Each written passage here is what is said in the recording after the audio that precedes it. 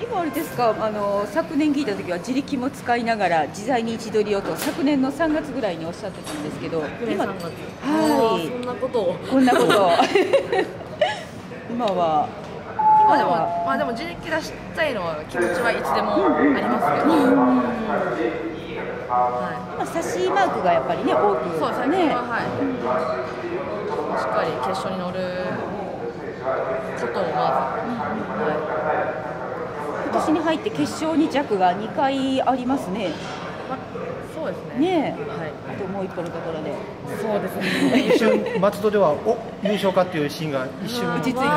まあ進まないんですねと思って、うちはす重たかったってことそれともいやでも全然多分いけたんじゃないかな。私以外の人なら。多分いそうそうですか。や尾崎さんが強かったですあまあまあもちろんね。私もあれあいけたんじゃないかなってったんですけど、進まなかった。相手が強かあれった。はい。状態的にはどうですか？今こう練習も割と充実できてる感じですか、そうですね。はい。多分終わってからもあんまりまあしっかり休むっていうよりは、まあ、毎日ちょっとずつでも練習して調整してきて感じはだいぶいいと思います。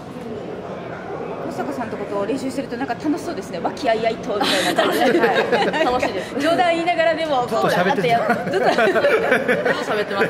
でもなんかいいモチベーションでできそうな感じがなんとなくしますね、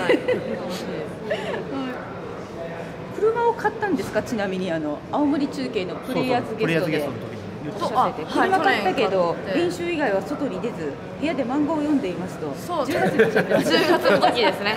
10月の時です。いや外にも出ますよ。車でどっかに行きます。私外に出ます。出ます